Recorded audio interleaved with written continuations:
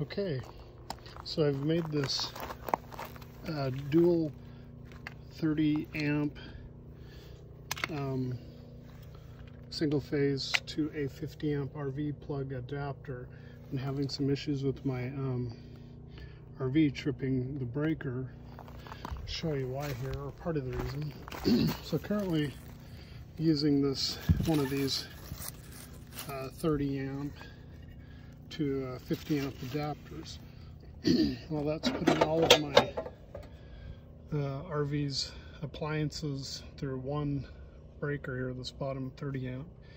And so that's causing me problems. You get running too many appliances and uh, so it trips this breaker.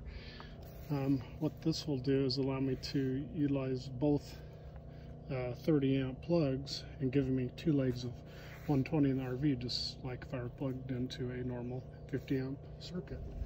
So I'll be able to plug in 130 amp here and 130 amp here and will give me a single 50 amp uh, well it'll actually be two 230 amp breakers but that's irrelevant but what it'll do is separate my load um, in the RV so I'll have two two legs of 120 rather than just one at 30 amps. I'll have two at uh, well up to 30 amps on each leg.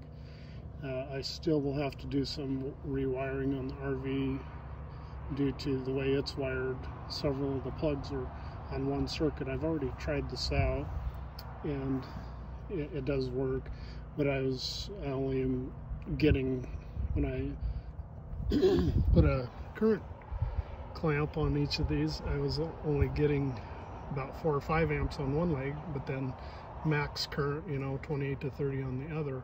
So it's telling me the RV is wired funny so I got some work to do there. But but uh, yeah this will do the trick and help me out greatly. So looking forward to getting this situation taken care of and um, also have some room to grow here if I need to add I'll have to add a, another 110 or 120 circuit for uh, my hot tub but the rest of these two one's for my mini split uh, we'll be able to just plug directly into the RV so.